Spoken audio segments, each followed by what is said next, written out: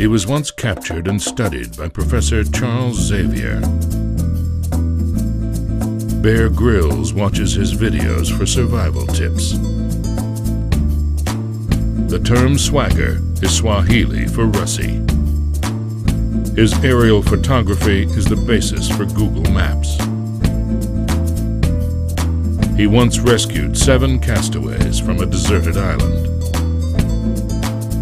He once caught swine flu and didn't like it and spit it out.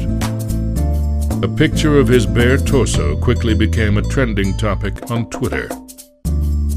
He was handpicked to drive a car from the future. Next year, he will win the 1984 Nobel Prize in Physics for inventing time travel. He fondly refers to former Vice President Al Gore as Deuce. He is Roundup Russy. And he is the Internet.